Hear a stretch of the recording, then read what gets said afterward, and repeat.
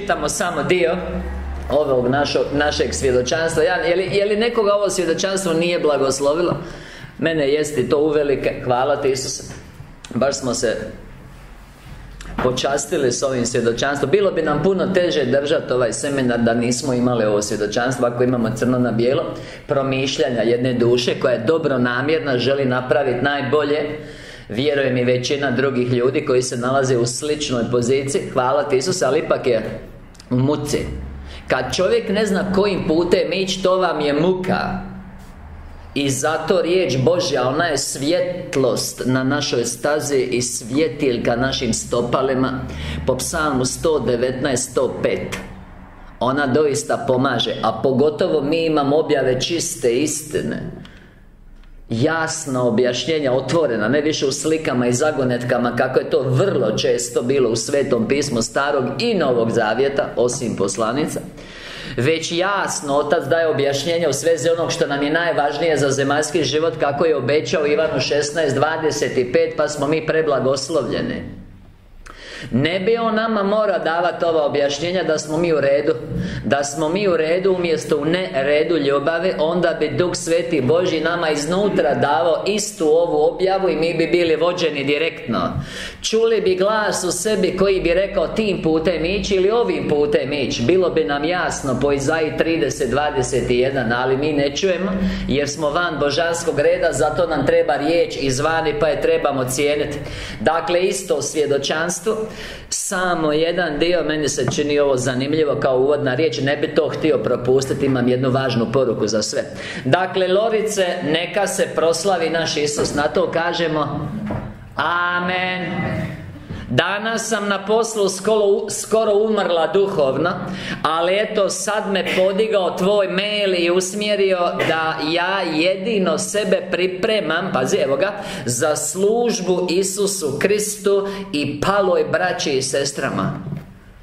Svaki pravi vjernik bi to treba imati u srcu. Kako služiti Isusu Kristu Zbog čega ga i naziva gospodarem Gospodar implicira slugu i pri tome braći i sestrama Dakle, ovo je plemenita ispravna namjera. Pazi I jedino kad tako gledam E, tu ćemo danas uhvatiti I mi tako trebamo gledati I jedino kad tako gledam Pazi I kad želim služiti To jest priprema se za službu sam dobro. Dakle, izdvajamo jedino kad tako gledam jer mi ne moramo, hvala ti se, čekati pripremati se za službu Mi ćemo danas odmah naučiti da je služba tu Dakle, ja bih htio da mi razumijemo Ja sam to imao Kad sam najavljivao ovaj seminar Prošli put u Vinkovcima. Hvala ti se nakon službenog predavanja Pa smo ostale nas nekolicina I ta se tema povukla. Ja sam nekoliko važnih uputa dao I rekao kako je nužno da imamo seminar na tu temu. Ja sam baš ovo rekao. Gledajući svoju braću i sestre Koji su dobro namjerni I koji silom prilika Ili evo možda netko radosno Uglavnom je silom prijeka Moraju raditi u svijetu da privređuju Da mogu sebi osigurati život tijela a time i duše koja kroz tijelo ostvaruje svoj zemaljski zadatak Zbog čega se tijelo mora održavati Mora imati prikladno stanište i nešto si popapat Slušajući, dakle, i gledajući njih, njihovu muku Ja sam vidio da oni odlaze na taj posao kao na robiju Moraju nešto I jedva čekaju da posao završi. A znate, 65 godina radnog staža po 8 do 10 sati To je puno robije. Jer ljudi na, naravno gledaju ove stvarne robijaše Koji su nešto krivo napravili Oni dobiju već koliko dobiju Živa muka, lot isto muka, isto si na robiji Ko što oni ne žele biti zatočeni u četiri zida I nemaju svoju slobodu Tako nitko, duša ne želi biti zatočena Na poslu kojega ne želi. Hvala ti se gdje ne želi biti ni na tom mjestu Ni sa tim ljudima. Hvala, ona je, ona je hvala ti su se na robiji E, mi tu trebamo napraviti pomake Mi trebamo u svom sistemu Hvala ti se Naći ispravno gledište I odlazak na posao Treba biti, ovo je važno Odlazak u vinograd gospodnji. Ja idem služiti Kristu I mojoj braći i sestrama E onda nema 65 godina Ovo je 65 godina, znate, misli se na penziju Koliko nam treba Onda nema 65 godina robovanja 8 do 10 sati Nego ima 65 Ovo smo uzeli kao broj da lakše razumijete 65 godina 8 do 10 sati preko dana Aktivnog služenja Isusu Kristu i braći Tako da živimo ljubav Po njegovoj volji. Hvala ti u svim okolnostima Koje on mudro uredio božanskom providnošću u našoj sudbini da mi postignemo našu punu zrelost. Hvala ti Isuse što i hoćemo ako ostanemo unutar njegove volje i živimo po njegovoj riječi.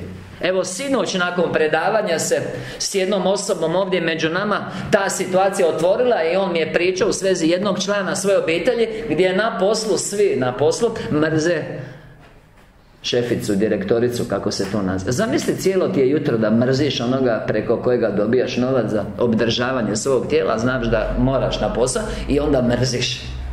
Primjerice, to je stupanj mržnje različite kod svih prirodnih ljudi Ovisnosti koliko su prirodni i time pod utjecajem protivnih Ali zamisli opet samo idejno kažem 65 godina si na robi i još mrziš.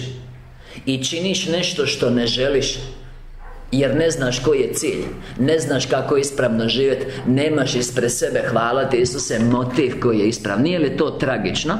Pa idemo u sveto pismo Ono daje dosta uputa Ovo će vas sigurno oduševi Daje dosta uputa S obzirom na zaposlenike I s obzirom na ove koji su na funkciji direktora Mi ih možemo nazvati gospodarima Tako ih pismo naziva Iako one spomenju robove Dakle, mi radimo za nekoga i mi smo o njemu ovisni i on nas plaća i više ili manje, manje ili više on nam određuje što unutar tih 8 sati, 65 godina mi trebamo raditi.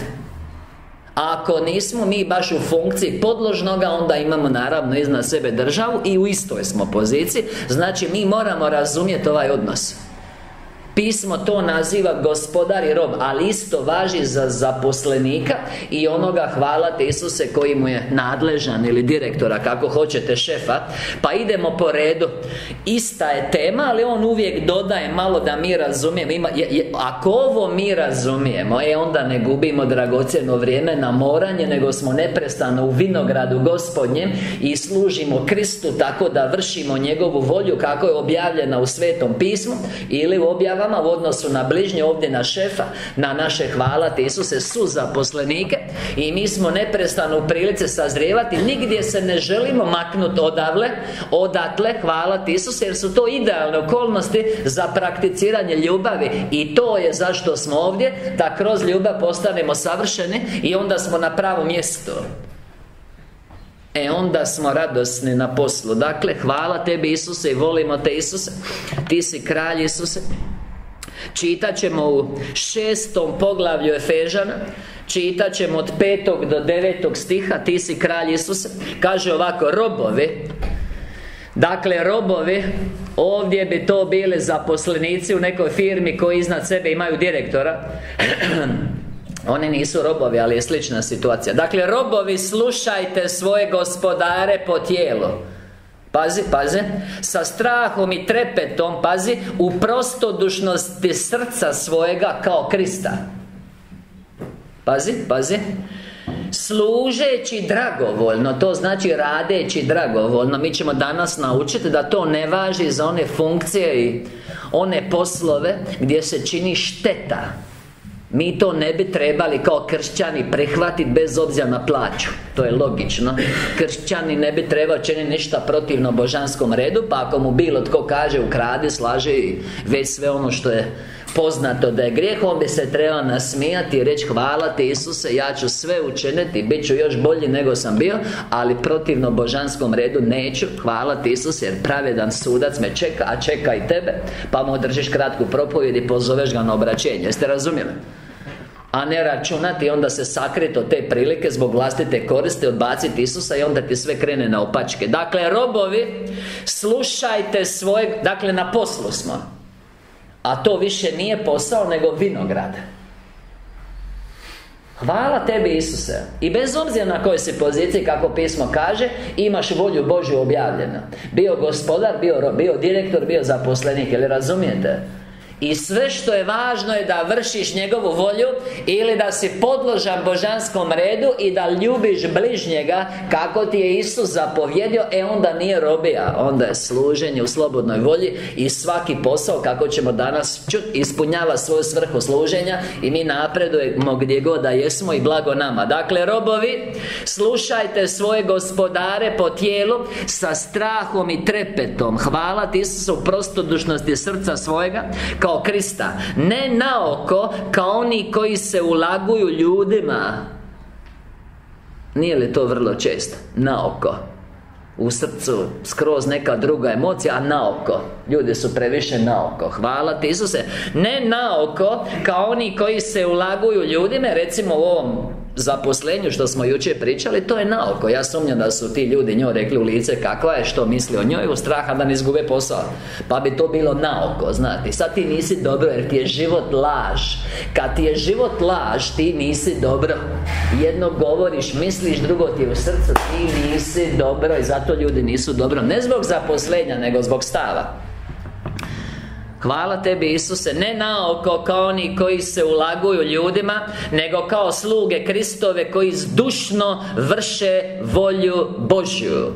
Tebe ne treba zanima što je On napravio Nego da li ti vršiš volju Božju zdušno u ovoj situaciji Gdje si providnošću postavljen Jer jučer smo rekli u prvim Korinčanima 7.20 do 24 Neka svako ostane u zvanju gdje je pozvan pa dok ne dobiješ direktni poziv u srce po duhu svetom Božjem Da ideš u, u službu Isusu Kristu 100% cijeli dan Onda ostani gdje si pozvan Osim ako te ne izbace Jer nećeš surađivati džavno ni služiti njegovim ciljevima Zato što želiš ostav ljubavi i ne griješi To je drugo Onda će se Isus pobrinu za tebe. Pazi, a ovo, evo ga, mi odgovaramo na ovo, ovo što je ona rekla. Pripremam, znači ja sam jedino dobro, pazi, pazi Kad tako gledam, što? Služba Isusa Kristu I služba Isusu Kristu i paloj braći i sestrama. I jedino kad tako gledam I kad želim služiti E sad ona dodaje pripremat se tu treba biti već u službi gdje god da jest E onda sam dobro. E to je to. Jedino si dobro kad si u ovoj uputi koliko ih je ovoj upute? Mučak. Hvala tebi Isus. Dakle, zabilježite Fežanima šesto poglavlje stihovi 5 do 9 Robovi. Hvala, znate to robovi, mobbing, kako se to danas zove? Svi su princeze. Hvala ti Isus. Od cukra. Ništa mu ne možeš reći. Hvala tebi Isus Robovi, slušajte svoje gospodare po tijelu sa strahom i trepetom u prostodušnosti srca svojega kao Krista. Kao Krista. Ne naoko kao oni koji se ulaguju ljudima Nego kao sluge Kristove. Pazi, znaš kako razvija predivnu ideju prema kraju? Bombončić. A ljudima se ne da provesti vrijeme i čut oca što govori ne, ne žele čuti, zato im nije dobro. Ne možeš biti, nikad nećeš biti dobro Dok si van reda.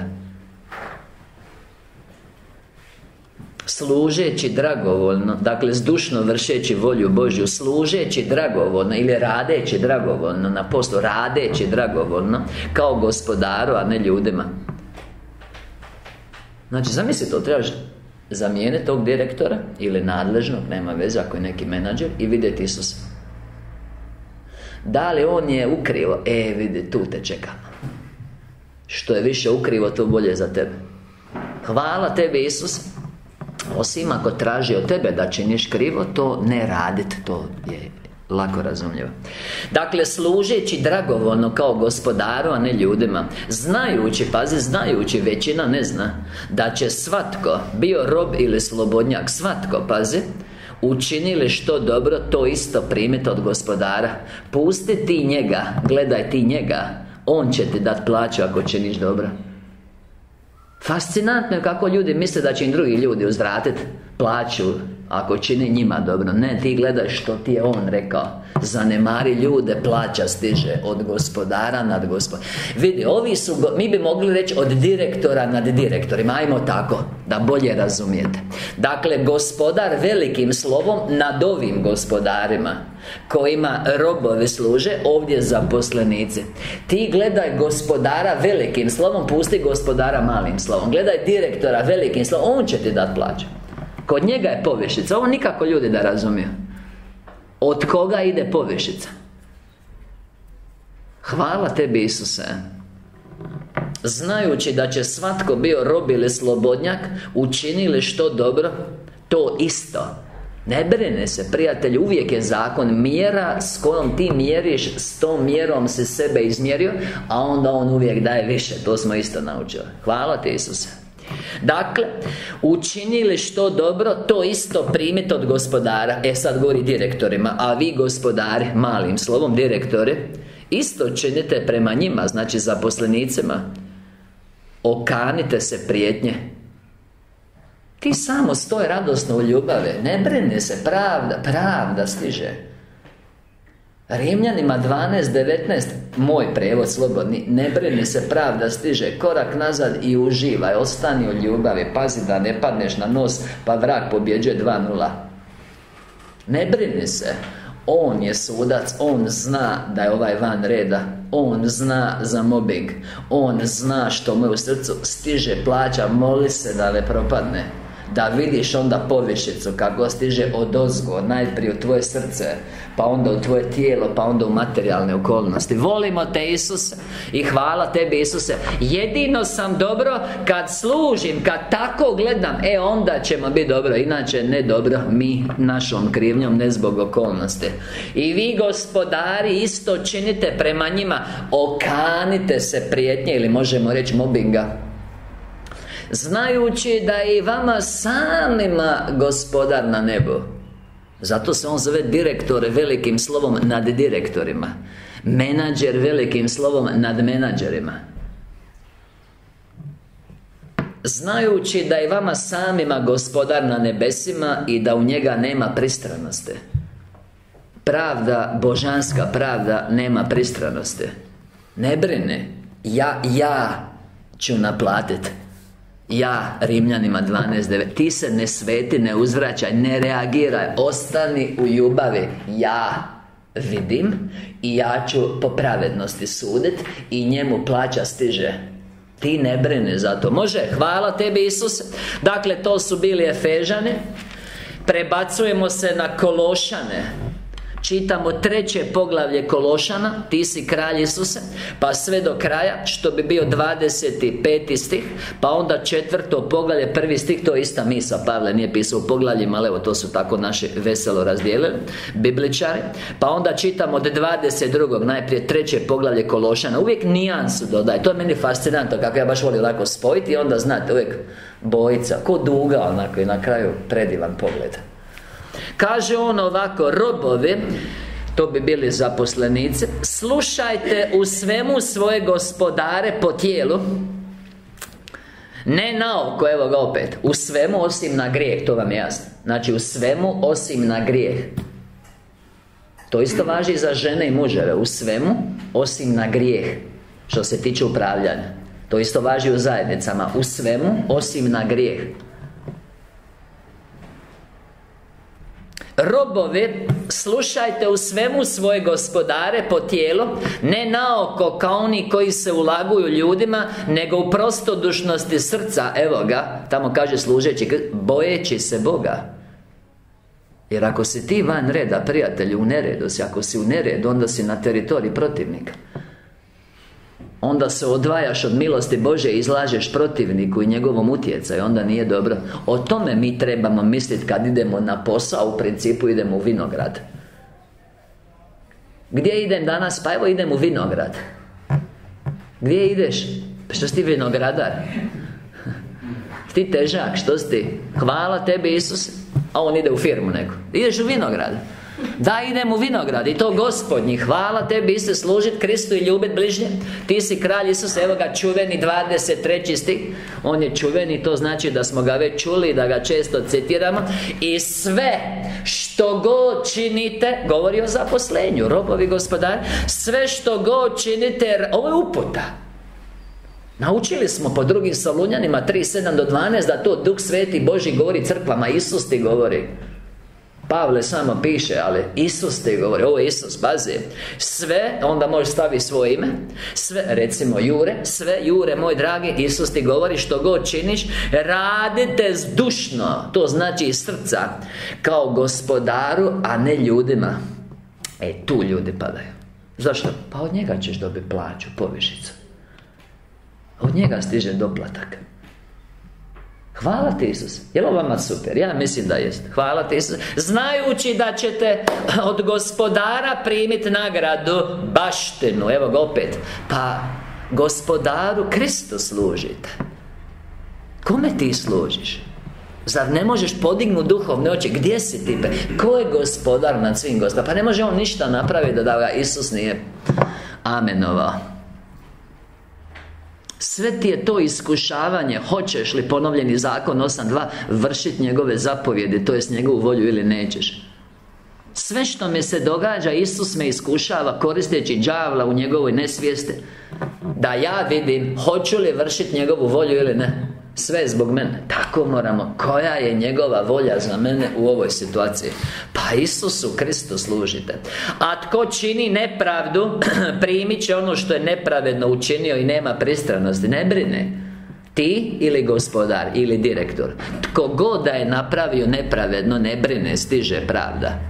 Nema, nema greške, ne brine ti ne brine za to, brine za sebe. Evo ga i gospodari Pružajte svojim robovima Što je pravo i pravično Pošteno ga plati. Nemoj ga iskorištavati Budi dobar prema njemu Jer imaš iznad sebe direktora Koji sve vidi. Hvala tebi Isuse. Ja mislim da bi odnosi na poslu bili idealni Kad bi jedni drugi ovo znali. Jel' tako? Gospodari, pružajte svojim robovima Što je pravo i pravično znajući Da i vi imate gospodara ili direktora na nebesima. Jel to tako ili nije tako? Tako je, tako je. Hvala tebi Isus Idemo na tricu vi se ne ljutite što sam ja to sebi ovako zabilježio da mi je lakše okretati Hvala ti Isuse. Evo ga idemo na prvog Timoteja šesto poglavlje. Ti si kralj Isuse Pa ćemo čitati prva dva stiha. Opet isto. Svi koji su pod jarmom to znači koji moraju raditi u našem slučaju Robove ili zaposlenici Neka svoje gospodare Smatraju svake časti dostojnima da, evo ga, ovo je jako važno. Da se ne bi pogrđivalo ime Bože i nauk. Sad ću ja dodat Ne znate li da vas nevjernici stalno gledaju I da vaše ponašanje, ako je van reda Služi njima da pogrđuju nauk i smijavaju Isusa? A trebali bi ga proslaviti riječju i dijelom Nije li tako sasvim izvjesno Da gledajući vas i vaše svjetlo ljubavi Slave zajedničkog Oca koji je na nebesima Po Mateju 5, 16 Ili da gledajući vas koji dobrim dijelima ušutkavate Hvala te Isuse. Ušutkavate Nerazumne ljude Koji pričaju Hvala te Isuse Krive stvari. Pazi Da se ne bi pogrđivalo ime Božje i nauk. Ti si Isus Isusovo lice da li moje ponašanje pogrđuje ime Bože i nauk? A oni kojima su gospodari vjernici Jer ima i toga, kao to je naš ono, znaš, kao re, znamo se mi pa roštili smo skupa, jeli A oni kojima su gospodari ili direktori vjernici Neka ih ne cijene manje zato što su braća, evo ga Nego neka im još više služe.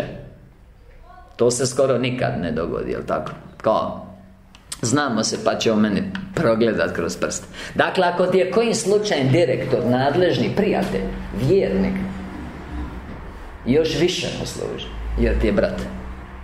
Jer su oni koji primaju dobročinstvo vjernici i ljubljeni. Ovo naučavaj i potiče. Pa evo mi naučavamo i potičemo. Idemo Titu Poslanica Titu Titi Drugo poglavlje Hvala tebi Isuse Čitat ćemo deveti i deseti stih. Robove, to bi bili zaposlenice Neka se podlažu svojim gospodarima u svemu. Neka im ugode Neka ne protuslove. E ovdje je nova nijansa. Neka im ugode Pa uzmi ga dobrotom Vjerujte me, ako i nema srca ispravnoga i dobrote Zbog interesa kad vidi da si kvalitetan radnik Hvala ti se, bit će dobar prema tebe Tako sebični ljudi računaju. Uzmi ga na dobrotu. Hvala tebi Isuse dobrim dijelima ušutkaj bezumlje hvala ti Isuse zlih ljudi po prvoj Petrovoj 2.15 ti si kralj Isuse. Dakle ugodim i nemoj im protusloviti još nakon nekako se nateže šutiti u sobi Ali iznutra bi ono pun si protuslovlja Pazi I evo ga, to smo govorili jučer Ne, ne potkradaj Nemoj se firmom koristiti Hvala ti sad da nitko ne zna Pa stalno nešto uzimati iz firme. Nije li to uobičajeno? A? Hvala ti Isuse, ti ćeš meni. Tako da ovdje ljudi rade ozbiljne greške nije stvar ili kemijska ili, ili, ili gumica ili, ili, ili fotokopiranje ili ne znam što. To je njegovo. Kradeš. Isus to ne očekuje od tebe. Kradeš mu vrijeme kad si tamo i na mobitelu, a treba bi raditi jer te on ne gleda ili si na Facebooku ili već.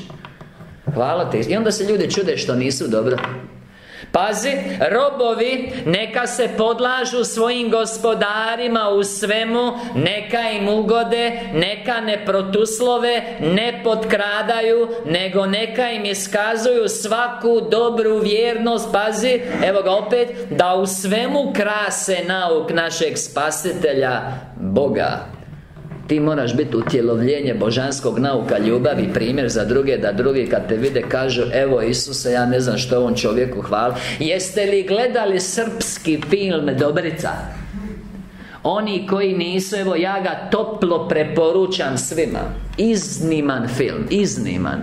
Na ovu temu na van je Dobrica, tako se zove, izgledao ko netko ko ništa ne kuži Svi ga gaze i hvalati, iskorištavaju Ali mu je gospodar nad gospodarima stalno davo povišicu dok na kraju svi nisu shvatili da on u stvari daleko bolji od njih I hvala ti Isuse, na kraju ih je ljubav pobjedila Izniman film, svima ga preporuča. Dakle, Dobrica, čak bi vam ga dao za domaći rad Izniman film. Hvala tebi Isuse, mi bi trebali biti dobrice. Na van izgleda ko da smo glupavi, tupavi, svi nas koriste Svima ugađamo, a pogotovo onima koji su zli A na kraju ljubav pobjedi. Svima oprostiti, otrpiti nepravdu. I evo ga šlag na kraju da nema ovog nešto bi falilo. Čuvena druga Petrova Volimo te Isus Prva Petrova drugo poglavlje. Čitat ćemo od 18. stiha Pa možda do 25. Vidjet ćemo gdje je pravo mjesto za stat. Evo ga sluge Zaposlenice. Sa svim, sa svim strahom pokoravajte se svojim gospodarima. To znači ako ti direktor kaže nešto Onda učini Čak i ako ti se ne sviđa Ali nemoj učiniti ako je grijeh To razumijete, jel tako? Sve osim grijeh Pokoravajte se svojim gospodarima Evo ga Ne samo dobrima i pravičnima Nego i pokvarenima. E pa to. A hvala ti Isuse. Ne samo dobrima i pravičnima Nego i pokvarenima. Takvi su uglavnom, jel tako? U ovom svijetu gdje se ljubav ohladila to je naime milost. Pazi, pazi, ovo je krasna misa To je naime milost Ako tko radi savjesti pred Bogom Vršeći Božju, Božju volju Ja dodajem u poslušnosti svom gospodaru Pazi Podnosi žalosti Trpeći nepravedno Znači, trpiš nepravedno i žalostan si Ali služiš njemu Jer znaš da ćeš od njega dobiti plaću.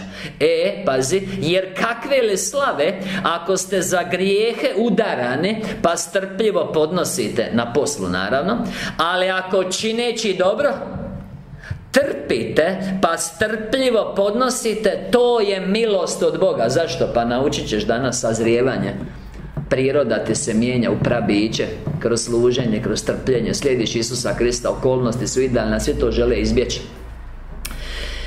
Jer ako čineći dobro trpite pa strpljivo podnosite To je milost od Boga Ta na to ste pozvani jer je i Krist pretrpio za nas i ostavio nam primjer da pođete njegovim I ostavio nam, zašto piše nam, ne znam Pa onda njima Vala i ostavio nam primjer da pođemo za njegovim stopama. On koji grijeha ne učini Znači, nije onda sagriješio da nešto šefu loše napravio. Niti se nađe prevarana u ustima njegovim. Dakle, bio je dobar zaposlenik Jer Isus je isto sluga u odnosu na oca Tako ga pismo i naziva nije on nešto krivo napravio, loše poslova, zezno nešto, krao na poslu. Koji nije vrijeđao kad je bio vrijeđan. Nije zauzrat vrijeđan Znači nije kad ovaj vrijeđa na poslu mobbing Nije u njemu zauzrat ništa činio. Ništa, trpio nepravda Hvala tebi Isuse. Ničem nije, mučen nije prijetio Nego je to sve predavao onomu koji sudi pravedno. E to i onda ide dio 24. stih o uzimanju i 25.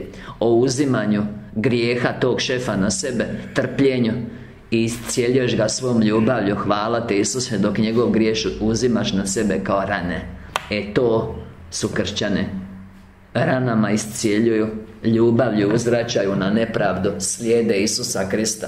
Trpe ponizno jer znaju da je to milost. E s tim stavom kad bi mi išli na posao Onda ne bi išli na posao nego na Golgotu. E onda bi napredovali. Nosili bi svaki dan svoj križ ponizno, radosno slijedili Isusa Krista. I Isus bi nas nagradio Isus bi nam dao povišicu Evo Isuse u tu svrhu ja te molim za milost i to prosvjetljenja Da dok Tvoj Sveti Boži siđe na nas moćno Da rasprši svu tamu u srcima ljudi O Isuse da im se oči duše pomažu sa pomazanjem od ozgo i progledaju po otkrovenju 3.18 i da ta golema tama u dušama ljudi zbog nerazumijevanja postane svjetlo kad oči ozdrave. Po Mateju 6.20 i 23 Isuse hvala te o Isuse hvala ti na ovoj milosti. Čiste iste ovim jasnim podukama i hvala ti na djelovanju Duha Svetog Božje koji oživljuje ovu riječ Isuse. Po drugim Korinčanima 3.6 zbog čeg te molim da spusti svoje anđele Služničke duhove po Hebrejima 1.14 Jer oni su poslani da služe nama koji baštinimo spasenja Ja im dajem potpuno odriješene ruke Da surađuju sa mnom u molitvi i predavanju riječi Da učinci budu silni kod svih koji su voljni A vi im otvorite vaše srce također Svaki pojedinačno Zamolite ih za pomoć I hvala te Isuse Iskusit ćete njihovu božansku pomoć Jer oni su naši prijatelji Duhovni pomagači Moćni nebeski svjetlosni radnice. U ime Isusa Krista suprostavljam se svim silama tame Svakom zlom ili nečistom duhu Koji tlači ili veže bilo koga ovdje u bilo kojoj mjeri. Slama moć tim duhovima u ime Isusovo Izgonim ih odavde I zabranjujem da se vrate i očituju na bilo koji način U bilo kojoj mjeri tijekom cijele večeri. Hvala ti Isuse Da se odvija nesmetan protok riječi Bože I da svi koji tu riječ primaju kao riječ Bože Božju Ne kao riječ ljudsku Budu blagoslovljeni što ih hoće I to na licu mjesta Po prvim Solunjanima 2.13 Isuse, hvala te. Amen. Imamo još dvije objave na ovu našu glavnu Glavnu Za sad treću pod temu A to je obaveze ili služenje ljubavi Današnji motiv ja ću jedan, jedan put više uložiti napore i ljudima objasniti na koji način se tumači božanska objava da ne promašimo bit. Imate pravilo prve rečenice, ali imate i pravilo centralne, centralne ideje oko koje se sve vrti. To je isto centralna ideja u svemiru jer se oko centra uvijek sve vrti.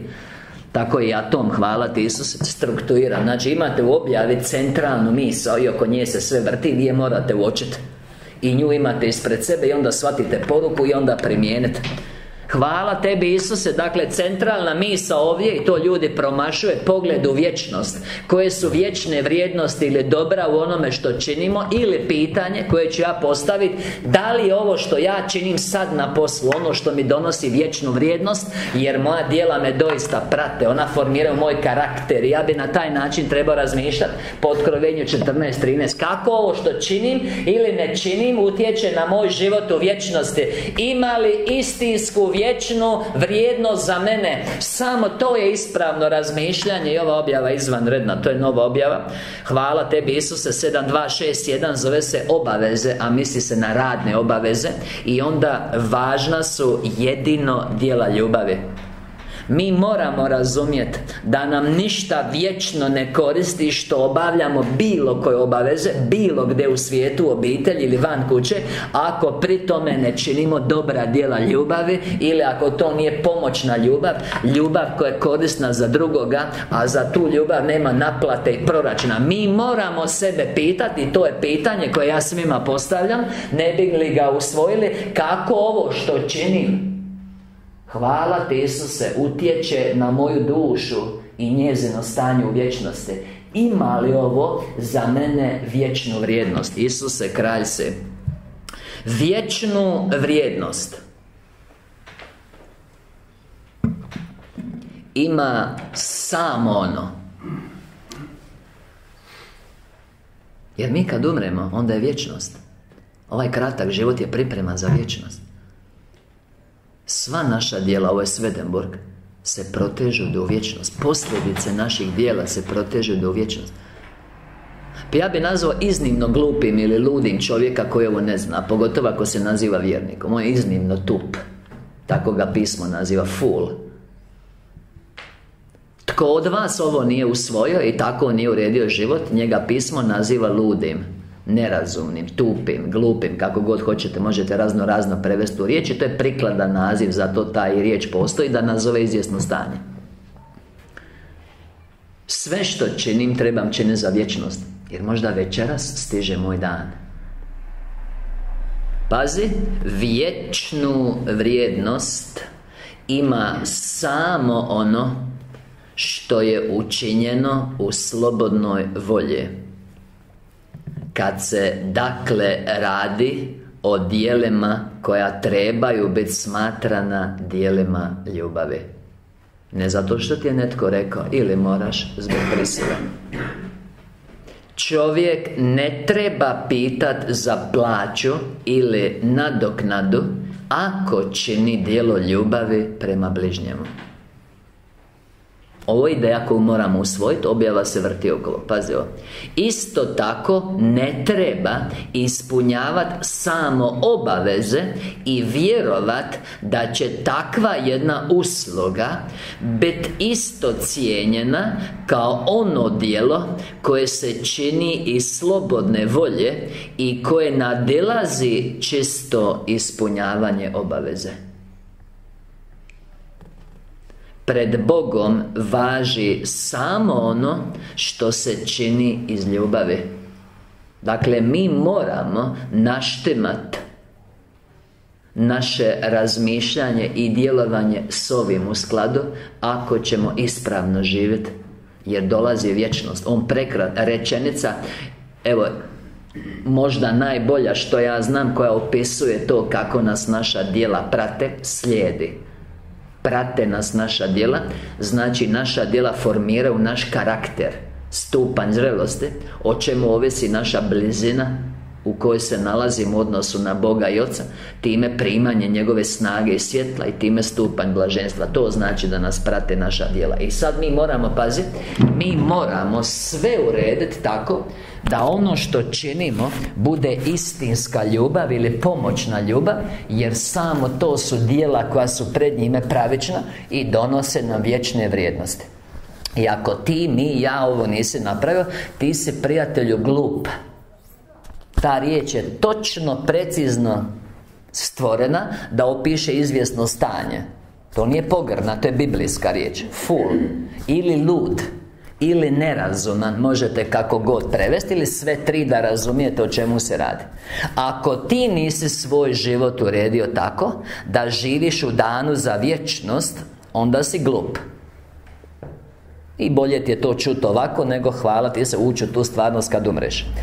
Volimo te Isuse, pred Bogom važi samo ono što se čini iz ljubavi I prava ljubav uvijek je nesebična i bez proračuna. Pazi sad ovo. Znači takva djela imaju vječnu vrijednost. E tu jednadžbu moramo usvojiti dok sebe ne prespitamo Ovo što činim Što je iza toga Kakva je ljubav u tome? Da li ovo služenje ili proračun? Uzimam li u obzir moga bližnjega? Hvala tebi Isuse. Volimo te Isuse. Pazi, ovo je ta rečenica. Znači, takva djela imaju vječnu vrijednost Jer se odražavaju na vječnost. Duši donose zrelost Koja određuje njezin stupanj blaženosti Te tako određuju sudbinu duše nakon smrti Ponovit ću jer je jako važno. Ovdje završava prva misa Znači, takva djela Imaju vječnu vrijednost. Što? Koja djela? Djela koja se čine iz ljubavi A ta ljubav nema proračuna u sebe Jer je nesebična. Pazi ovo. Takva djela jedino Dakle, samo ono u danu Što činimo iz nesebične ljubave Je blagotvorno za našu dušu. Sazrijeva ili usavršava dušu I određuje njezin stupanj zrelosti kad umre I kasnije stupanj blaženosti I mi trebamo u to gledati Samo to su mudri Efežanima 5.17 Drugi su lude Glupe, nerazumne Znači, takva dijela imaju vječnu vrijednost Jer se odražavaju na vječnost. Duši donose zrelost koja određuje njezin stupanj blaženosti te tako određuju dakle dijela sudbenu duše nakon smrti tijela. Dijela su po kojima smo suđeni. A volimo te Isus kad bi vi samo znali, znali stupanj zablude, obmanutosti U kojem živi protestantski svijet koji dijela ljubavi stavlja u pozadinu i Hvala ti se tvrdi da ona imaju samo moralnu vrijednost. Dakle, nema riječi na hrvatskom, srpskom, bosanskom, slovenskom, makedonskom Albanskom Hvala ti Isuse Bilo kojem našem jugoslavenskom jeziku. Hvala ti Isuse A i onda i onima dalje jezicima Njemačkom, engleskom, švedskom i nebeskom Da bi se moglo opisati Koliko su ti ljudi u zablude Koji je to promašaj prirode stvari. Kad kažu da dobra djela imaju moralnu vrijednost Da ne utječu na kvalitetu duše u vječnosti. To je stravična zabluda Stravična zabluda. Ponovit ću vam misa jer je važno da ovo uhvatite. Dakle, cijelu misa ću vam ponoviti Iz početka. Vječnu vrijednost. Dakle, imam obaveze da ne zaboravite gdje smo na poslu. Imaš puno vremena gdje ti nešto obavljaš. I ako u tome nema aktivne, nesebične ljubavi To je ko da ništa nisi napravio Bez obzira na uspjeh na poslu. I materijalnu blagodat i mi ovo moramo razumjeti I uvijek se pitat Danas ćemo to doraditi Nema izgovora Svaka stručna Hvala Svako stručno zaposlenje Može biti oblik služenja I nema izgovora. Pazi vi ovo morate razumjeti Vječnu vrijednost ima samo ono Što je učinjeno u slobodnoj volji kad se dakle radi o dijelima koja trebaju biti smatrana dijelima ljubavi i čovjek ne treba pitati za plaću ili nadoknadu Ako čini dijelo ljubavi prema bližnjemu Isto tako ne treba ispunjavati evo ga sam obavezu I vjerovat da će jedna takva usluga Biti isto cijenjena kao ono dijelo Koje se čini iz slobodne volje I koje nadilazi čisto ispunjavanje obaveze Pred Bogom važi, ovo smo u Zagrebu sad govorili na seminaru, znate Vršenje božanskih zapovedi, prisil, dobrovoljno ili prisilno Ili kako piše tamo, ako razdam svo svoje imanja, ljubavi nemam Ništa mi ne koristi, znači dijelo ljubavi bez ljubavi nema nikakve koriste Pred Bogom važi samo ono što se čini iz ljubavi, pazi I prava ljubav uvijek je nesebična i bez proračuna Što te motivira? Evo ga. Znači, takva djela. Ja dodajem samo takva djela Imaju vječnu vrijednost Motiv je u objavi i ono što gledamo Što za mene ima vječnu vrijednost. To jest kakvu, jer sve ima vječnu vrijednost Dobro i loše, to isto govori. Hvala ti Isuse. Kakvu vrijednost u vječnosti za mene ima ovo djelo? Znači, takva djela imaju vječnu vrijednost Jer se odražavaju na vječnost. Što? Pa formiraju tvoj karakter, prijatelju moj. I time određuju mjesto u vječnosti. Po njima ćeš biti suđen Duši donose zrelost Koja određuje njezin stupanj blaženstva Te tako određuju sudbenu duše Nakon smrti tijela.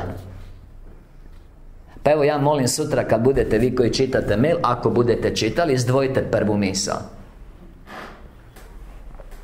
Jer Otac ovo govori. Znate, 65 godina, 8 do 10 sati nije uputno promašiti. Pa biti u krivom ležištu no zemaljski život čovjeka, evo ga sad druga miso Najčešće je ispunjen zahtjevima ili radnim obavezama To su moranja. To su doista moranja Jer kroz ta moranja Mi održavamo život prirodnog tijela Što je također obaveza.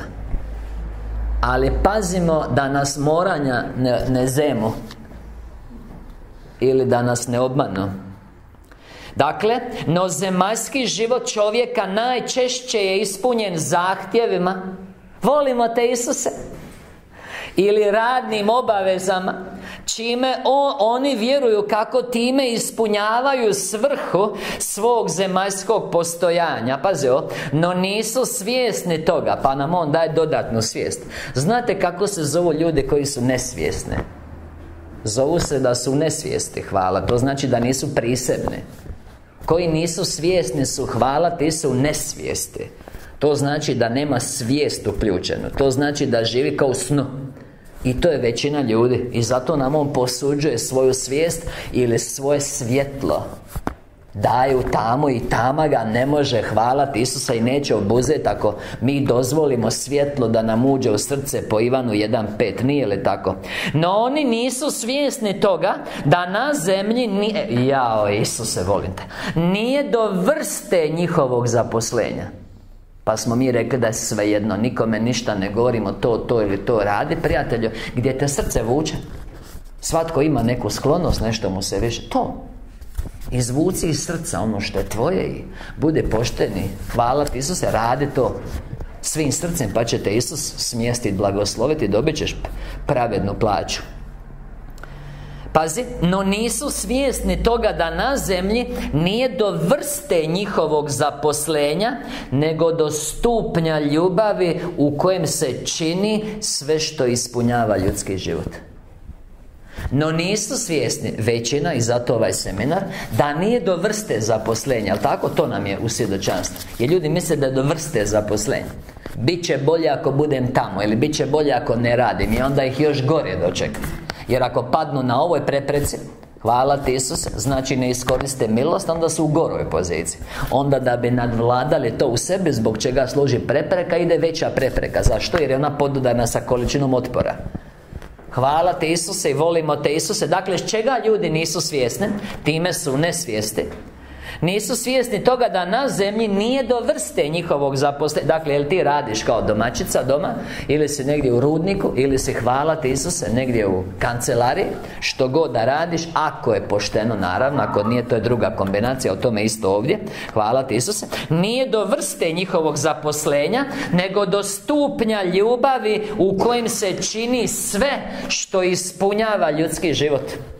Do duše sad gledamo u posao i ono što moramo U to spada jedna doza samoljublja. Logično, moraš ljubiti svoje tijelo da bi ga održava Inače ćeš umrijeti I onda duša ne može ostvariti zadatak Kojeg može jedino kroz tijelo na ovoj zemlji Jel razumijete? Znači to je dozvoljeno samoljublje. Da bi se moglo podmiriti potrebe tijela Budući da čovjek ima obaveze prema tijelu. Zašto? Jer kroz tijelo duša ispunjava svoj zadatak Stoga treba tijelo čuvati Tko ne čuva tijelo, on isto van reda Tko ne čuva tijelo, isto van reda pa mu je od strane vječne ljubavi Dozvoljena jedna mjera samoljublja Ali pored toga Jedino samoljublje Znači to što moraš raditi Da bi održao svoje tijelo Što ti je obaveza Ali jedino samoljublje Ne smije određivati sve akcije čovjeka. I evo ga opet Nego vječnu vrijednost.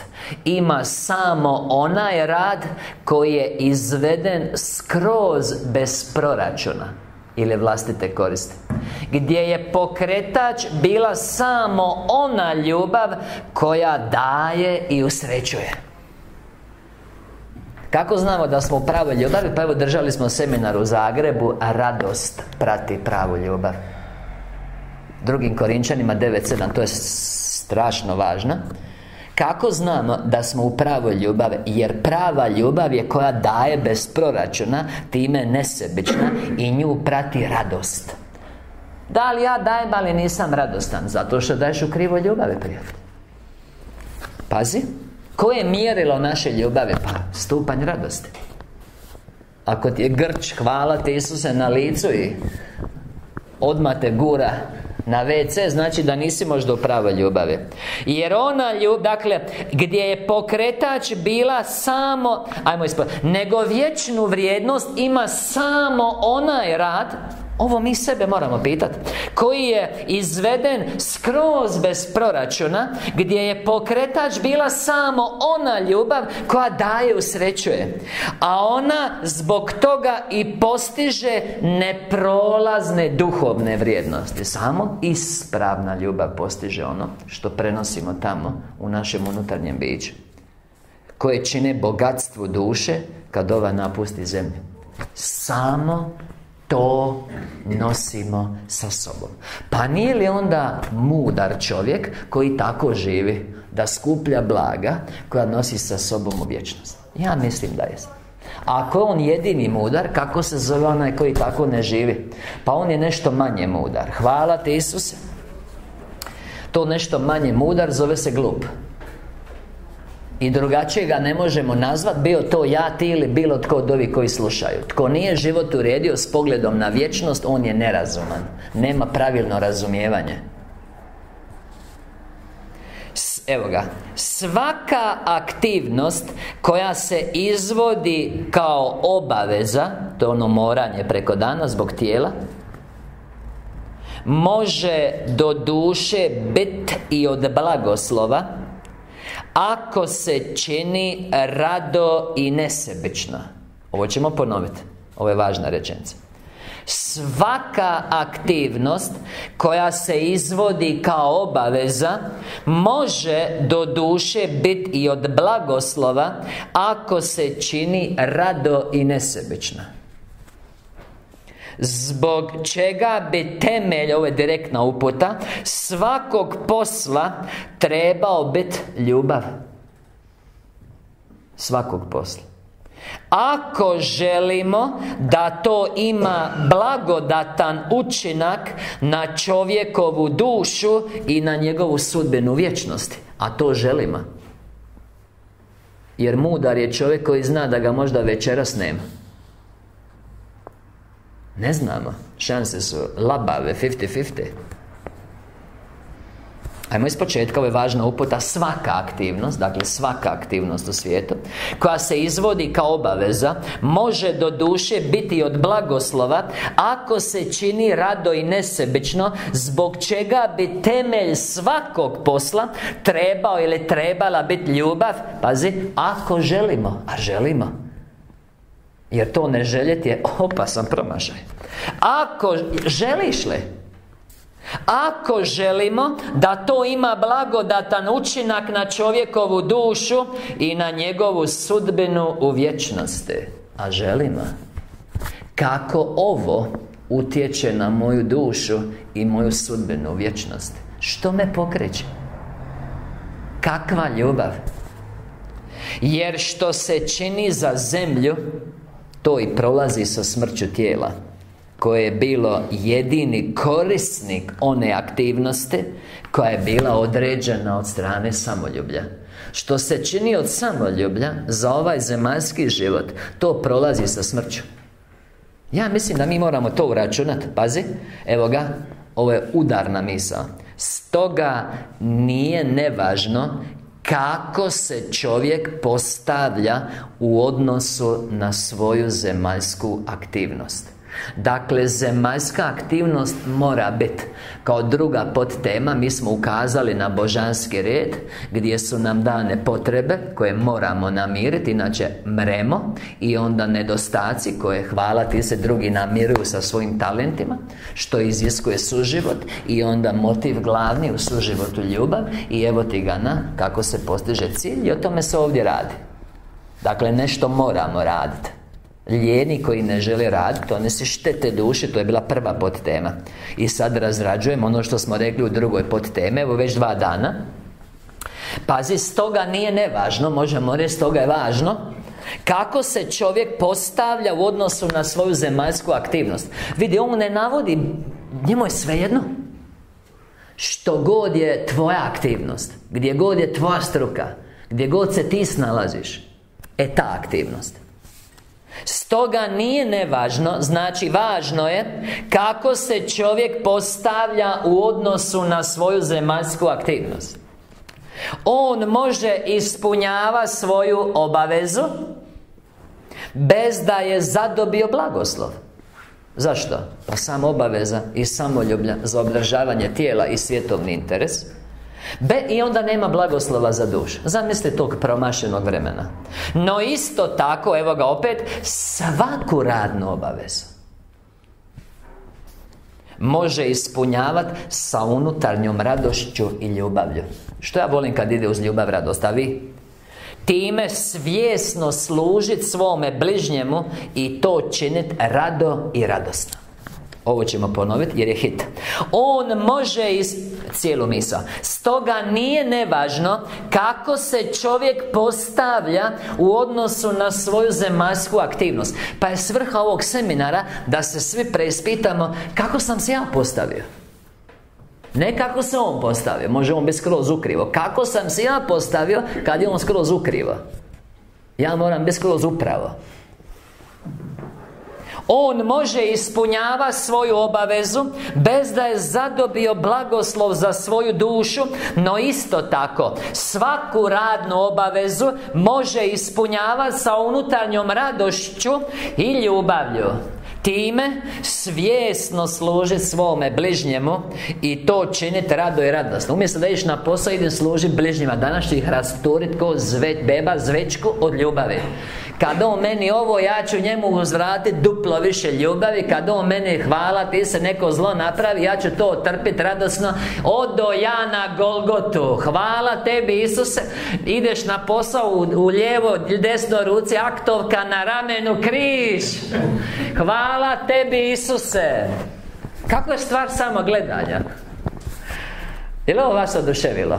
Evo ja znam bar dvoje koje je oduševilo. Hvala tebi Isuse i time svjesno služi svome bližnjemu. Dakle, ne idem na posao Nego na Golgotu. Spreman umrije za sebe sve što se Bogu protivi A prilike su mnoge idealne samo čitaj Prvu Petrovu 2, 18 do 25 I hvala tebi Isuse, sve će ti biti jasno. Tad, pazi, pazi, ovo je ključno Tu idemo, tad, kad, evo sad, tad. Tad to nije samo radna obaveza Nego istovremeno i dijelo ljubavi. E, tu ga moramo uhvatiti, onda smo u pobjede Tad, tad. Ovo je ključna misla Tad To nije samo radna obaveza Nego istovremeno i dijelo ljubavi. E onda nema gubitka vremena. Onda ne čekamo nešto tamo, sve je tu. Jer poticaj dolazi iz njegove slobodne volje A jedino slobodna volja Odlučuje je li samoljublje potisnuto I dolazi li do izražaja Bezinteresna ljubav Bezinteresna ljubav. To znači istinska ljubav Kojoj je cilj da daje Da bi usrećila. To je interes. E, ta ljubav usrećuje. Kako znam da li je ta ljubav u mom djelovanju Pa jesam li sretan ili nisam To je nepogrešivo mjerilo i evo ga, jeste spremni? Još jedna, ovo je baš hit objava. Još jedna udarna misa Već smo spomenuli, ali evo sad njegovim riječima Svaki posao čovjeka na zemlji Može ispuniti svoju svrhu služenja. Svaki posao, tako da uopće nije bitno koji je posao Nego tvoje srce. Možeš biti hvala ti se smetlar I postiš djeteštvo Bože A možeš biti direktor hvala ti Isuse Eko firme koja se bavi čistoćom I propast do najcrnjeg pakla. Nisi ovdje da bi bio ugledan Nego da postigneš cilj. Jel ovo razumijete? Svaki posao Svaki posao Čovjeka na zemlji, to smo mi za sad smo još na zemlji Može ispuniti svoju svrhu služenja Samo ako se ne radi svjesno, evo ga Po nalogu Božeg protivnika To jest kad je skroz jasno prepoznatljivo štetno djelovanje. To znači ako poslom služiš vragu I ljudima čini štetu Onda to nije služenje u ljubavi. Hvala ti Isus To je služenje vragu na tvoju propast a mi znamo da ima takvih poslova, pa njih ne podržavam. Dakle, sve što čini štetu čovjeku Je posao koji služi vragu. To isto ima vječnu vrijednost Evo ga, hvala ti Isuse. U tom slučaju, to isto ima vječnu vrijednost, samo negativno. U tom slučaju blagoslov nikad ne može počivati na izvršitelju Koji se predaje takvoj jednoj aktivnosti Jer on kaže u Rimljanima 13.10 Ljubav bližnjemu zla ne čini Ako nije ljubav, onda je ne ljubav Ako je ne ljubav od vraga Ako služiš vragu, prijatelju, ideš dolje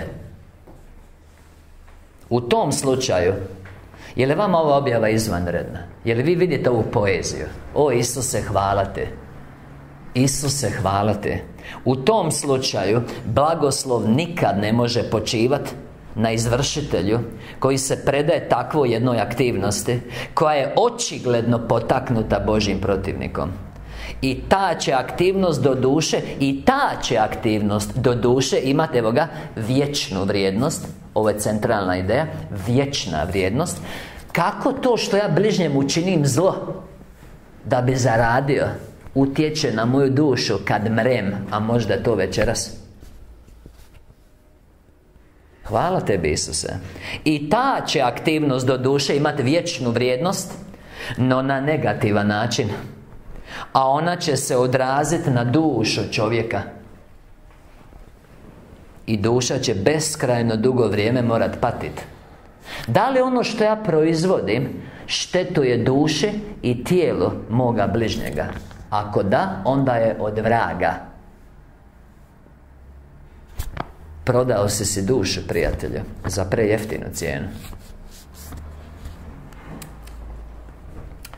A ona će se odraziti na dušu čovjeka I duša će beskrajno dugo Vrijeme morat patiti Jer su čovjeku na Hvala ti se predavanje toj akti Jer su čovjeka na predavanje toj aktivnosti Pokretali samo Jer su čovjeka na predavanje toj aktivnosti Pokretali samo sebični razlozi I on zato mora odgovarati Jeste razumjeli? Dakle, ako ja činim nešto da bi zaradio A pritom bližnjem štetim Bilo njegovoj duši, bilo njegovom tijelu Bilo njegovoj materijalnoj imovini To je služba vragu Gospodaru svijeta Jako, jako sebi činim loše.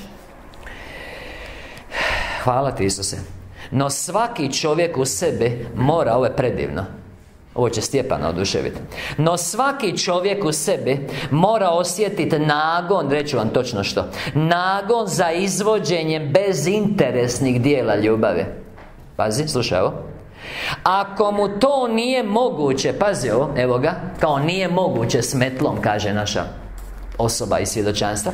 No, ako mu to nije moguće u okviru ispunjenja njegove obaveze Znači da je zatvoren u četiri zida i da samo vidi metlu Hvala ti Isuse. Onda to može činiti dodatno. Kad? Pa kad izađe iz te sobe. Najprije napravi posao pravedno kako smo jučer odgovorili Zadovolji svoga hvala ti se poslodavca Još ga oduševi. Vrijednošću Ne vrijednošću u smislu cijenu Nego svom Svojim vrijednim radom sluša recimo predavanja i razmišlja o riječi Božoj moli se Isusu još bolje da je sam i onda izađe puni baterija jednostavno i pokosi sa ljubavlju. Pazi, pazi, ovo je, ovo je predivno Ovo je predivno, ovo je kraj objave Predivno, predivno Ova je objava veličanstvena ova objava je veličanstvena Stvar nemojte propustiti Više puta, stvarno. Pročitati ove bitne dijelove. No svaki čovjek u sebi mora osjetiti nagon Za izvođenje bezinteresnih dijela ljubavi. Pazi, evo sad njoj odgovara. Ako mu to nije moguće u okviru ispunjavanja njegove obaveze Onda to može činiti dodatno. Pazi, pazi I to će se odraziti što? Dodatno Ako nije u stanju na poslu A uvijek su ljudi u stanju na poslu. Stvarno rijetko to će se odraziti posebno blagodatno Te će mu uskoro biti dozvoljeno ispunjenje obaveze u služenju.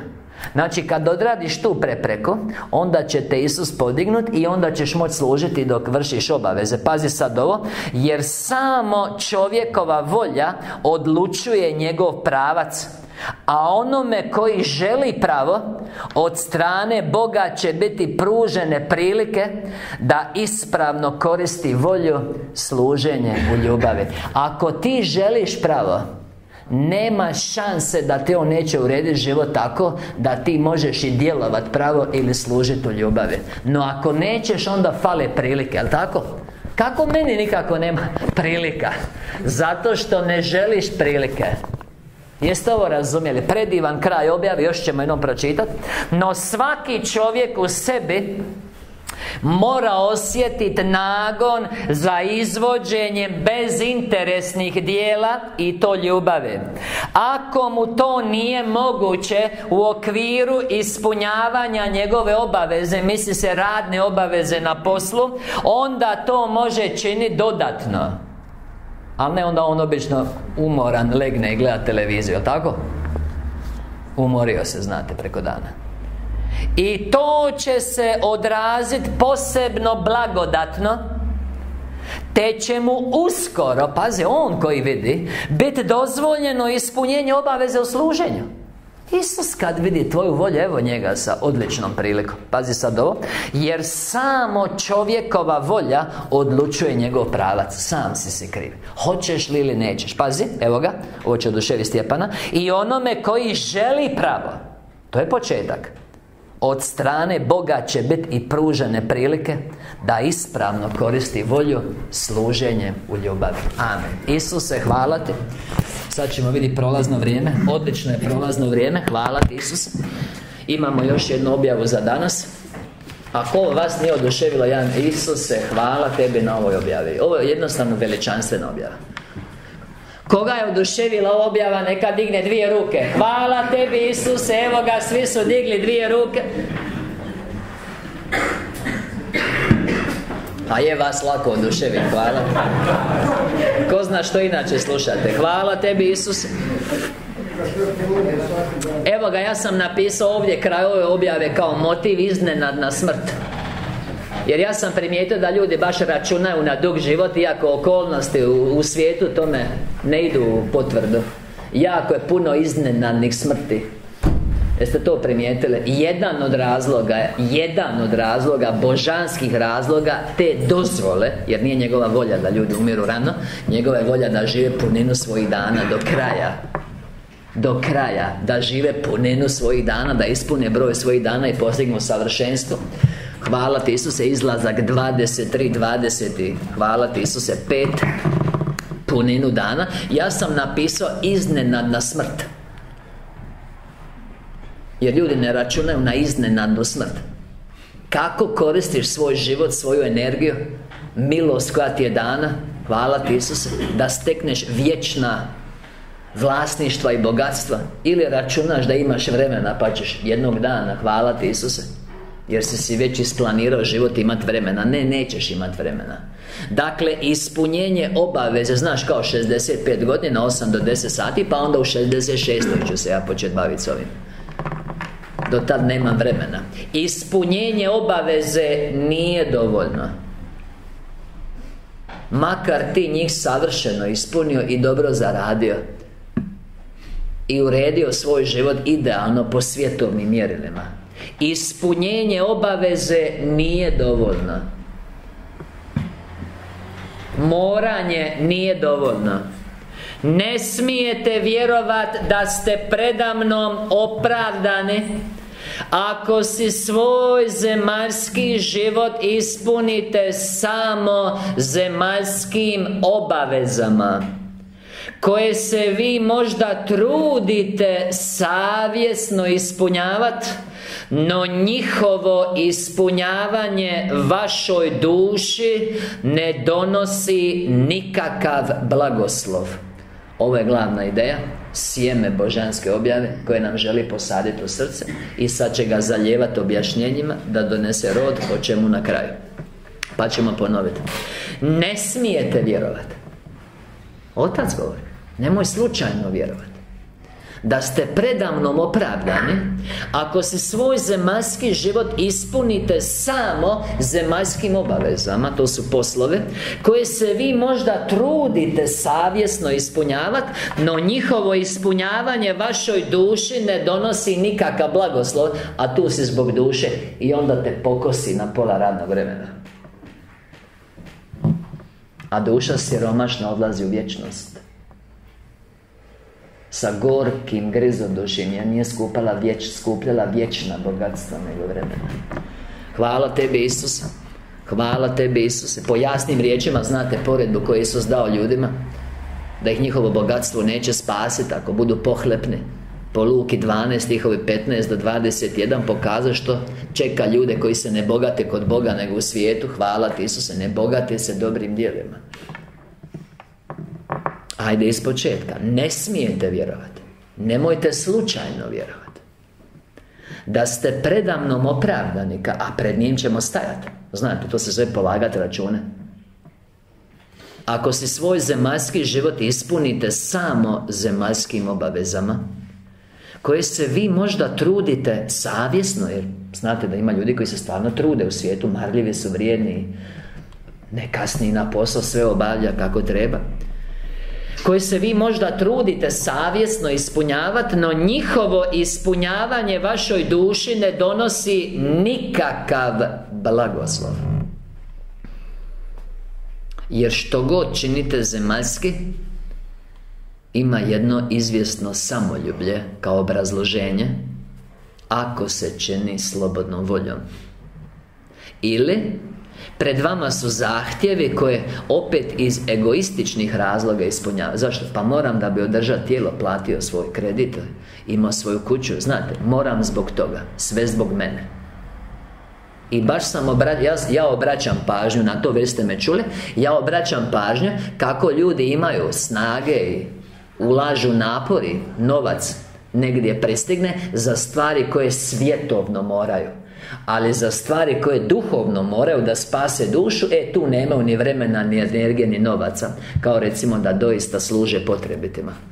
To ne moraju. E vi što moraš ako će se duša spasiti A ti ne nalaziš ni vrijeme, ni energiju, ni novac? A za drugo, kad ti se mašina pokvari, auto Krov prokišnjava Djeci kad ti nešto treba Prijatelju moj ti odmah nađeš Stoga sam ja baš promatrao dugo vremena Veliki broj ljudi Ko što kaže Kenneth Hagen Ja, ja stalno radim ankete u duhu u svojoj glavi i ja sam primijetio da ljudi imaju potencijal za svjetovna moranja Ali da nemaju za duhovna moranja To jest da ga ne koriste.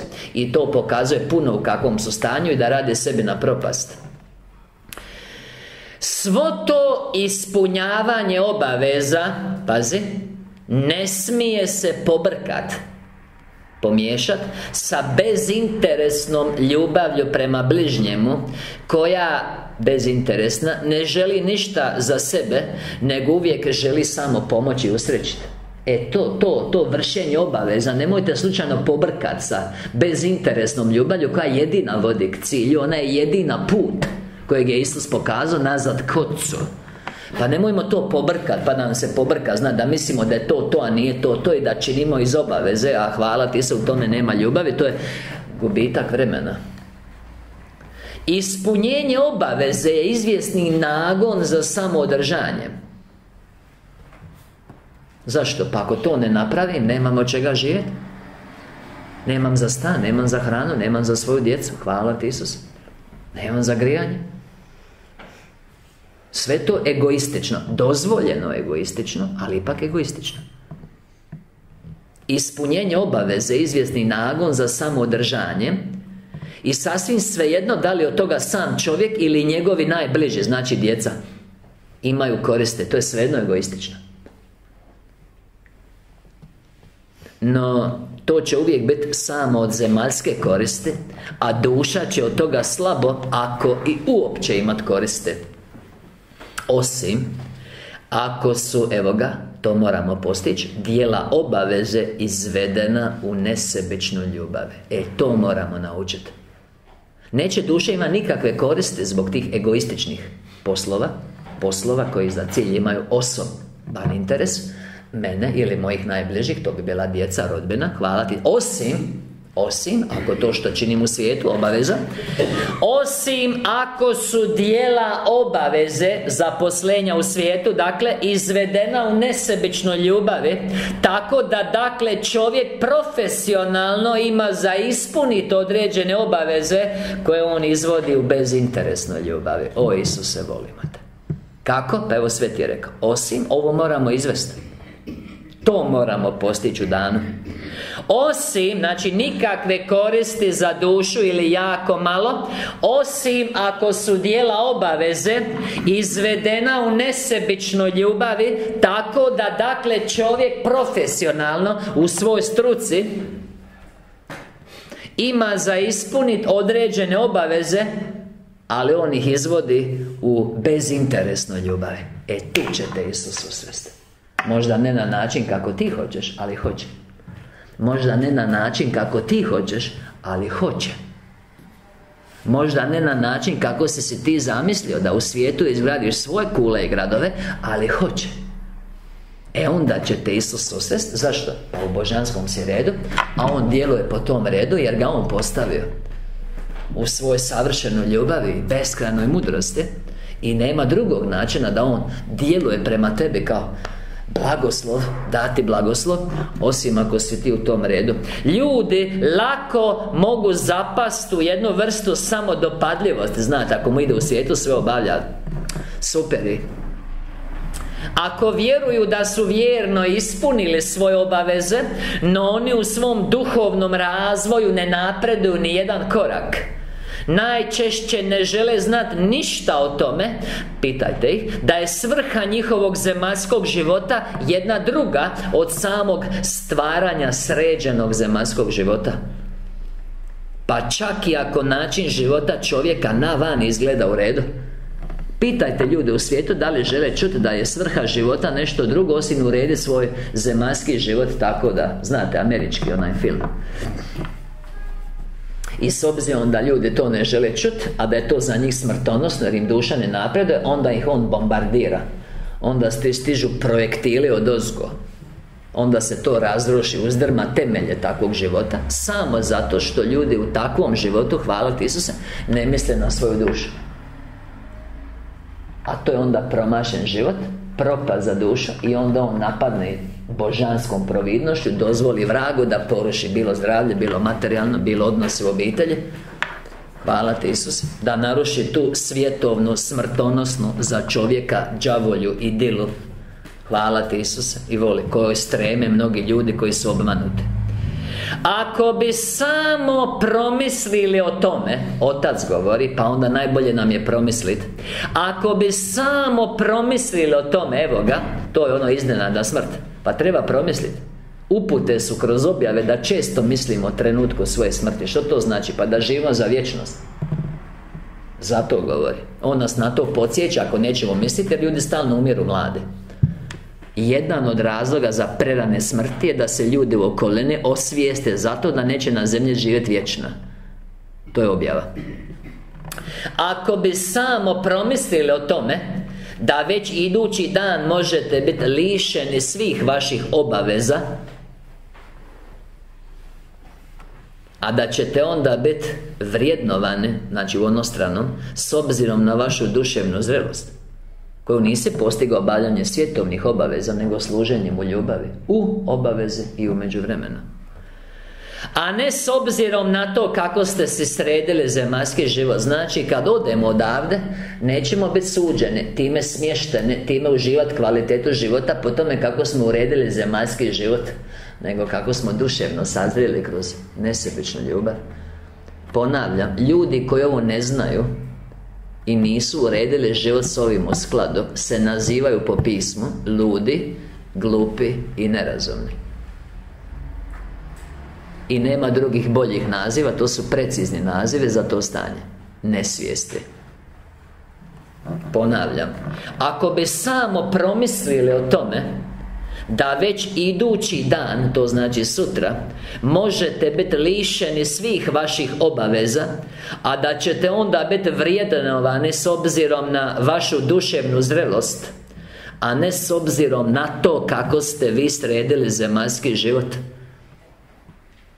Evo ga opet, promislite Da svako ispunjenje obaveze To je dakle rad u svijetu Može biti obavljeno i od drugih ljudi. Misli se Ako ti umreš na poslu Znači nekog drugog na tvom mjestu To hoće reći. On kaže misli o tome. Otac ti govori. To znači da je bitno da promisli Misliš li o tome? Mislim li o tome?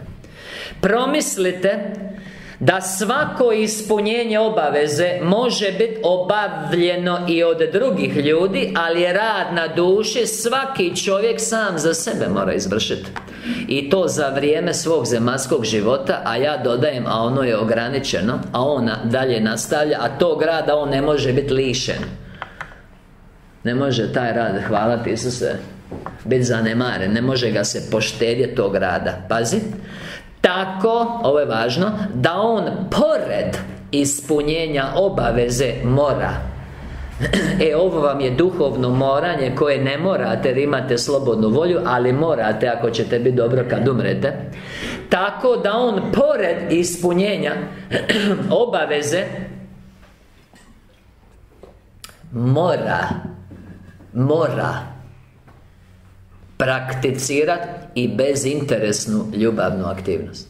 Znači ne zbog interesa jer moram zaraditi da bi nešto za sebe. To je egoistično. Mora Ako će. Ne mora, ali onda neće. Tako da on, pored ispunjenja obaveze Mora prakticirati bezinteresnu ljubavnu aktivnost Mora sam od sebe činiti više ne samo obavezu, o tome smo jučer govorili. Sjećate se, mora više. Znači to moram, a ako ne napravim više Uz svo moran ja promašio Mora sam od sebe, ne zato što mora Činiti više. I na toga uvijek treba poticat ljubav. Ljubav ova bezinteresna, bez proračuna Koja želi dat, koja želi usrećiti E, tek tad, evo ga On zemaljski život koristi ispravno. Tek tad je mudar, ja dodajem. Kad čovjek svoj zemaljski život To smo, mi smo ti čovjeci o kojima govori Kad on život koristi ispravno Tad, kad pored ispunjenja svoje dužnosti u svijetu On prakticira i bezinteresnu ljubavnu aktivnost Kad sam od sebe čini više I na toga uvijek potiče ljubav.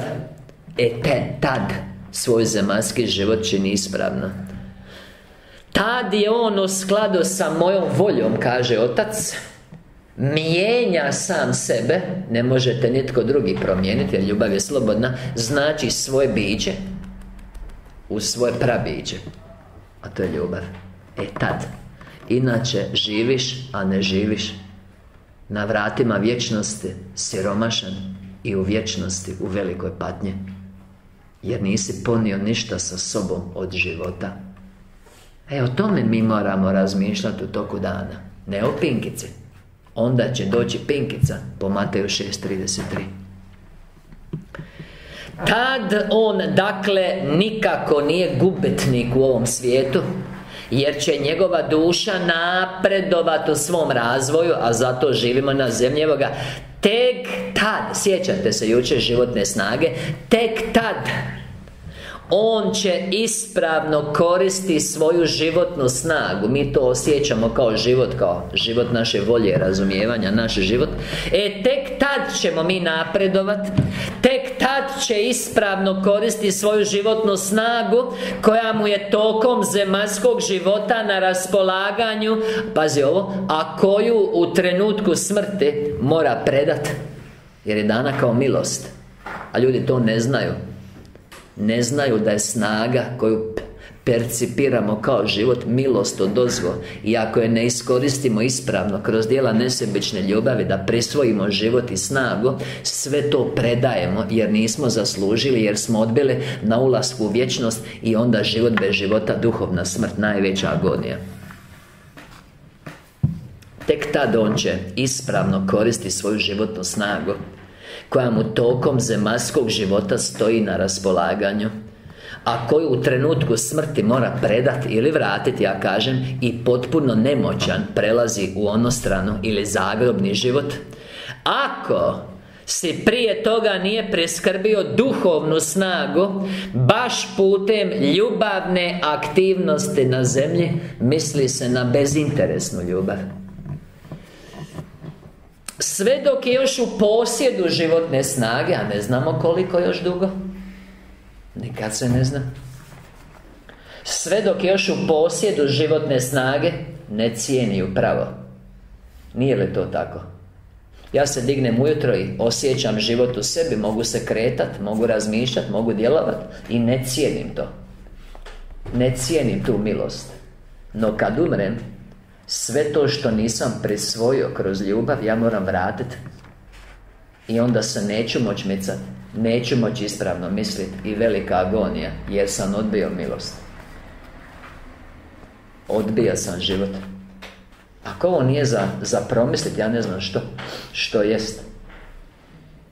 Sve dok je još u posjedu životne snage Ne cijeni pravo no ako u potpuno mrtvom stanju mora ući u ono strano A to su svi ljudi koji žive za svijet Oni su mrtvi ako su živi fizički. Prvom Timoteju 5.6 Oni su mrtvi Iako izgledaju žive No Ako u potpuno mrtvom stanju Mora ući u ono strano E tek to će mu osvijestiti što je proigrao I kako je tad jadan u odnosu na zemaljski život gdje je mogao stvarati, djelovati svojom životnom snagom. Izgubit ćeš svu snagu koju sad percipiraš kao svoj život. Bićeš živ i svjestan sebe i potpuno bespomoćan jer se nećeš moći pomaknuti i tako bespomoćan prepušten na milost i nemilost silama koje su u tvoj blizini zbog tvoje nekvalitete i neljubavi koje te baš zbog neljubavi muče jer im je to priroda. I to si pripremaš ako ne živiš za kraljevstvo. To čeka ovaj svijet. Takvi su većina u svijetu Jer ljubav se ohladila I zato dolazi kraj. Pa ako ovo nije vama za dobro razmisliti Ja ne znam što jest. Samo vi laganica Kad se probudiš ujutro Ko svi ostali nerazumni ljudi Živi za svijet, za tijelo Nemoj si preispita svoje motive Biće dobro. Malo morgen Hvala tebi Isuse. Tako da svoju životnu snagu Evo jučer smo o tome govorili Treba koristiti prevladavajuće za dijela ljubavi To znači prije svega, iznad svega Matej 6.33 jer si jedino time umnaža svoju snagu I može sebi steć neprolazno blago A to je život u svjetlu i snazi u vječnosti. Nema drugog Zamisli, dakle ja nemam riječi na nijednom Veste čuli jeziku naših naroda i narodnosti u bivšoj Jugoslaviji i svih okolnih država Znači mađarskom, hvala ti Isuse Grčkom Austrijskom, bugarskom, rumunskom, talijanskom jeziku Da bi imenovao veličinu zablude u kojoj žive protestanti Koji misle da dijela ljubavi imaju samo moralnu vrijednost a ne duhovnu i da o tome ovisi istinsko spasenje duše od neljubavi u vječnosti da će biti suđeni po djelima. To je stravična obmana. To je takva sljepoća da nema riječi za to hvala ti Isuse tako da svoju životnu snagu treba koristi prevladavajuće za dijela ljubavi A ne za mnoge molitve, čitanja, pisma, slavljenja, pjevanje, pjesmica Gledat kako osnažiti vjeru da bi činio silna djela Da te drugi hvale i na pragu vječnosti Ostati pred zatvorenim vratima Jer se nisi promijenio ljubav Vršeći očevu volju. Po Mateju 7, 21 do 23 Hvala tebi Isuse I Mateju 25, 1 do 13 Jer i o tome su lude djevice. To su lude djevice u crkvi Takvo razmišljanje tako da svoju životnu snagu treba koristiti prevladavajuće za djela ljubavi Jer jedino time čovjek umnaža svoju snagu i može sebe steći neprolazno blago Zato kažu Luki 12. To istava misao iznenadnoj smrti čovjeka koji je skupljao za sebe A nije, hvala ti Isus se razmišljao o vječnosti Nije se bogatio kod Boga Luka 12, 15 do 21 Onda ide onaj dio Nemojte brinu služiti dvojici gospodara On se brine za vas i završava 12. pogled 33. 34. stih Prodajte što imate Podijelite siromasima Skupite, hvalite, nabavite nepoderive vreći Skupljajte si blago, neprolazno Koje molja crđa ne nagrizao Lopov ne kradi, ne potkapa Jer ti je blago, tu će ti biti srce tako?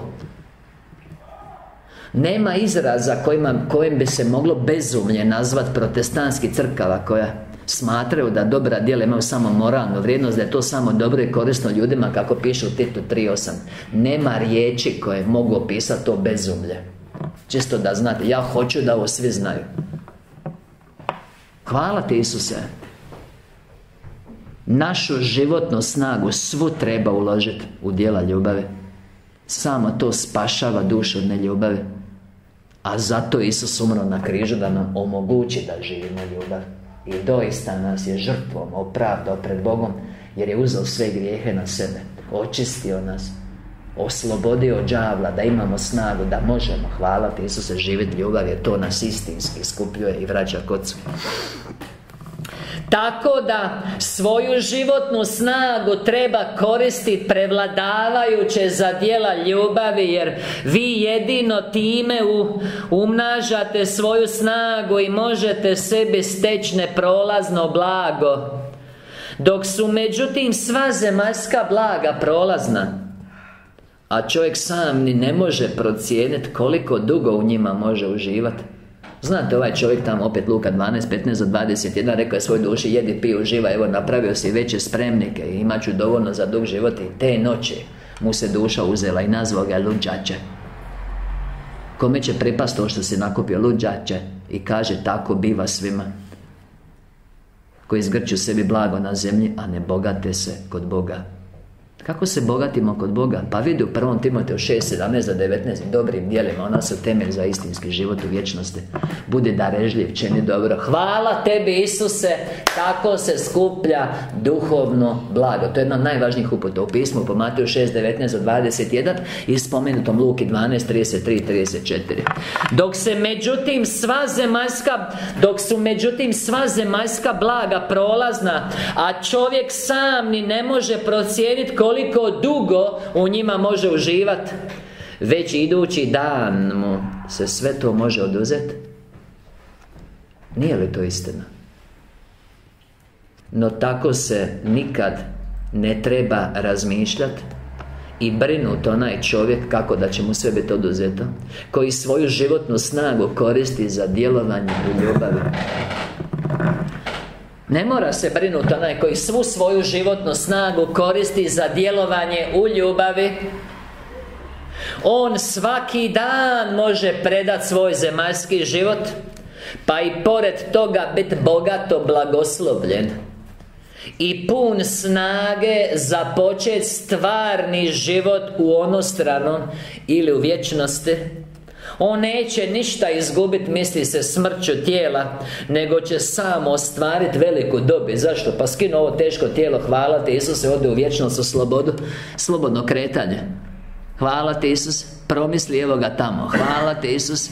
Može što hoće ako je u sjedinjenju s ocem kroz ljubav i dijeli njegovu volju i uživa božansku kvalitetu života djeteta Božega. To su drugi uvjeti, bolji uvjeti života Hvala ti Isuse i pun snage za počet stvarni život u onostranom. On neće ništa izgubiti nego će sam ostvariti veliku dobit. Evo ga, ključna ona zadnja misa. Tamo idemo. Stoga se čovjek nikad ne treba hvaliti svojim ispunjenjem obaveza. Znaš, ja sam to i to napravio, postigao u svijetu i tako Jer to može biti dokaz krivo usmjerene ljubave.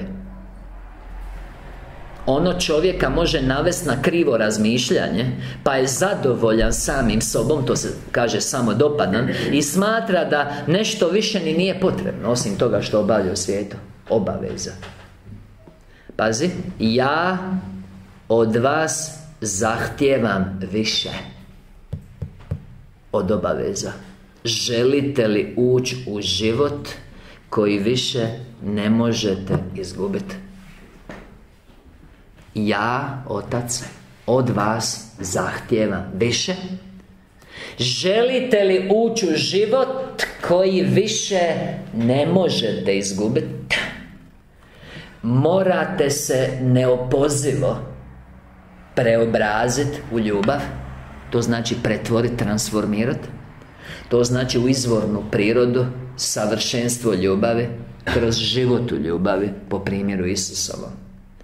Morate se neopozivo Znači, hvala se neizbježno Preobraziti u ljubav I stoga vaš život na zemlji Mora u tom slučaju Inače ne mora ako nećeš Odražavat bezinteresnu aktivnost ljubavi Ne obaveze To mora biti više i stoga vaš život na zemlji mora odražavati bezinteresnu aktivnost u ljubavi. E, tek tad živite po mojoj volji. I evo ga centralna misa I tek tad stječete sebi blago Koje je neprolazno. Amen. O Isuse, jesmo ga danas Isuse, hvala Ti, volimo Te i hvala Ti na ovoj riječi. Amen